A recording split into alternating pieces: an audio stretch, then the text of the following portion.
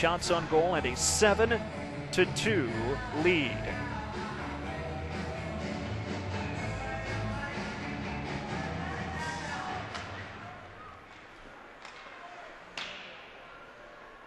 Face off, Atwell's knock into the corner. Shahura is there on it. Shahura knocked down behind the goal by Urquhart. Puck taken away by the Wolfpack with 25 seconds left. Played out to Brashear at center. Here's Brashear walking in, dropping it back to Owens. Owens' shot blocked in front, picked up and shot in by Nightingale.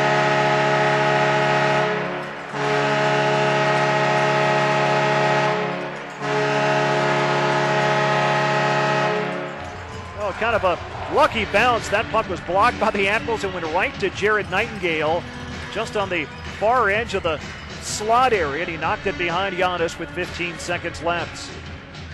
Brashear dropping it back to Owens, and his shot was deflected right to Nightingale. That makes it a 7 to 3 game, the Admiral advantage four. Puck down at center. Hall sends it ahead. Knocked down. Brashear on, trying to get it once again. Donald Brashear making his way off. Donald Brashear, by the way, the, the great nephew of Carl Brashear, the man who was depicted in the movie Men of Honor by Cuba Gooding Jr., the